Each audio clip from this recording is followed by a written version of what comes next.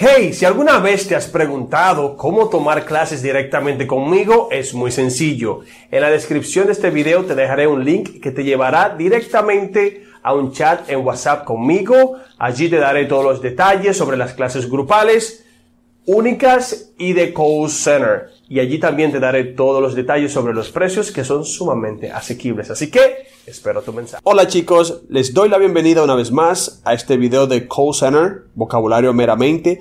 Pero el día de hoy será solamente de verbos. Sí, esta recomendación viene de parte de Manrique, el cual le agradezco mucho por su comentario y el cual me dio una muy buena idea. Muchas gracias. Sin más preámbulo, empecemos. Nuestro primer verbo sería cut off, to be cut off or to get cut off. Como quiera que lo digas, está bien. To cut off este phrasal verb se utiliza mucho cuando se cae la llamada, cuando estás hablando con el cliente y de repente se desconecta la llamada. Se desconectó, se cayó, me cortó. Tenemos acá este pequeño ejemplo que dice, if you don't pay your phone bill on time, the phone company will cut you off. Si no pagas a tiempo la factura del teléfono, la empresa te va a cortar el servicio. Esto se utiliza muchísimo cuando trabajas con compañías telefónicas. Te tengo otro ejemplo utilizando to be cut off or to get cut off. Ahora tenemos lo mismo.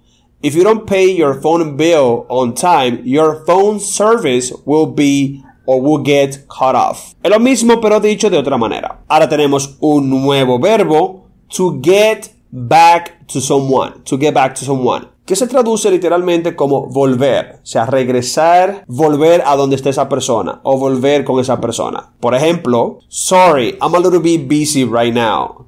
Could I get back to you in an hour? Sorry, I'm a little bit busy right now. Could I get back to you in an hour? Perdona, estoy un poco ocupado ahora mismo.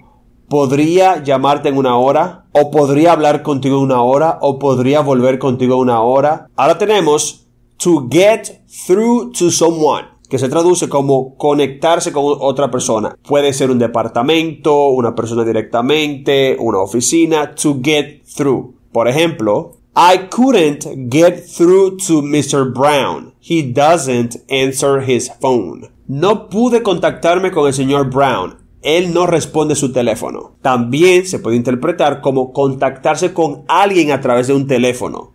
Tú lo llamas con la intención de que él responda. Eso es to get through to someone. Esta expresión la vas a utilizar muchísimo en llamadas. Muchísimo. Perdón, siempre. Ahora tenemos to hang up on someone.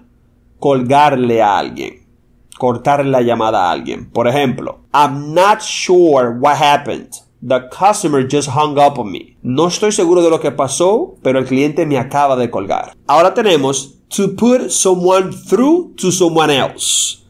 Me explico, es muy parecida a to get through to someone va a haber alguien que serías tú como agente que va a conectar dos personas. En el ejemplo anterior, tú querías contactarte con una segunda persona, ¿ok? Aquí hay un cliente llamando que quiere que tú lo conectes con otra persona. Hay tres personas involucradas en esta expresión. Veamos. El cliente te dice, Would you mind putting me through to Mr. Williams, please, on extension 502? Aquí están las tres personas el cliente que llama, tú que eres el agente y Mr. Williams que es con quien el cliente quiere hablar. El cliente te pide a ti que lo conecte con esa persona.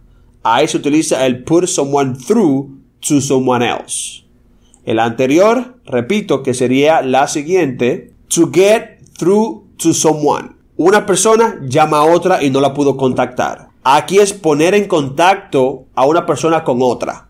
Así literalmente se va a interpretar. Poner una persona en contacto con otra persona. O sea, tenemos tres personas involucradas. Espero que haya quedado claro. Déjame saber en los comentarios.